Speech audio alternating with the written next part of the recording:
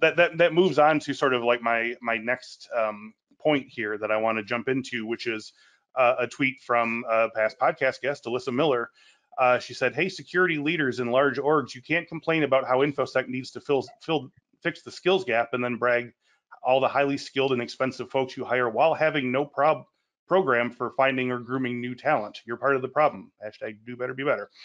So, you know, a lot of guests on the program, and obviously you all are saying the same thing. I don't care what your background is, as long as you can demonstrate passion and inventive thinking, we can train you.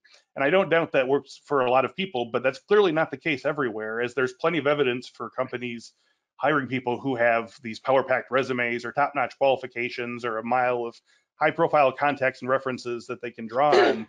Uh, to the detriment of other candidates, many of whom might have been shut out of the kind of prestige projects that would have put these type of qualifications on their resume. So, do we have any thoughts on moving the culture away from scouting rock stars and towards hiring intriguing, inquisitive people, uh, you know, of diverse backgrounds from outside of the sort of um, standard industry places?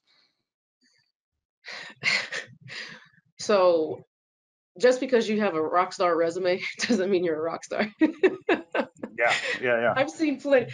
Look, my resume looks great, right? I've had it revamped and all of that. But if I can't do what my resume says and I can't provide value to my organization, it's just a piece of paper and it means absolutely nothing. Yeah. I've worked with folks that have some of the highest certifications, PhDs, all of that stuff, and they were, excuse my language, shitbags. They barely did anything. You know what I'm saying? Like, yeah. yeah. And all of the work was being put on everybody else. And so, um, for for hiring for recruiters, we have, and I'm not a recruiter, but we have to not be lazy. Yeah. And just throw the little the net here. You can't just say, "Hey, there's a free free this," and expect everybody to see it because the folks that you really really want to see it may not be in those spaces that you're putting that advertising. Oh. So instead of going to the job fairs at Stanford's and Harvard's and Yale's, go to the career fairs at the community college. Go to the rural areas where conferences and organizations aren't actually there, but there's people that are willing to learn and are learning technology and trying to get in the space. Think outside of the box. It's not that difficult, you know. Go into go into the high schools and talk to the different high schools and talk yep. to the students. Like, if they don't know there's an opportunity for them, they're not going to go out and seek it. So you right. have to, we have to, organizations and people in the industry have to go out and say, hey, opportunity, come over, come over, let's let's help you get to this point and that'll start to change the, the the talent pool but we have to just be willing to reach out there. Yeah and over a long period of time too. Right. Mm-hmm. not just not just you know one month of the year when we want to check, check, check look i'm just going to say this one thing okay? All this nonsense about re skills gap skills shortage i think it's all nonsense. We have enough resources everywhere Mm-hmm. We just have a pointy hair boss and HR people who's not opening that door. Right. So I don't you know this all this articles marketing, oh shortage gap, you, you know, skills gap, ah, you know, BS. It's not real. Mm-hmm. Because look at you know how many times I went to universities and like to Mary's point, going to community colleges, they are so eager mm-hmm. to want have an opportunity. And sure, you know, I've gotten yelled at by, and I had the best HR team from City National Bank. I'll just give them the kudos.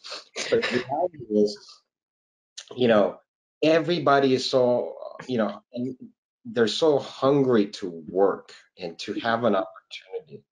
Um, I think we even talked about it before where, you know, we have this, we want to build this rock star team. It's completely useless. What right. are you going to have? Yeah. person doing 10 different jobs because they know it all? I've been, I'm, I'm at fault for doing the same thing. I had team of four core teams and all a bunch of minions, but the four core team basically did everything. They love what they do, but it's like I'm over, and they, they were over, over uh, utilized. Right. And so I made it a change in the latter part of my career where I rather have a bunch of minions that is going to, that's more hungry, who's going to step up. Mm-hmm. And my main four core people, their only job was to keep pushing them to think on their own and not ask for help. Because Yeah. It's just sufficient, right? Because we are in a jungle, we are in a battle. So the pro- but but the problem is is all of this uh, this mindset of having the somebody who has all these certificate, degree, lazy people. That's what it basically means to me.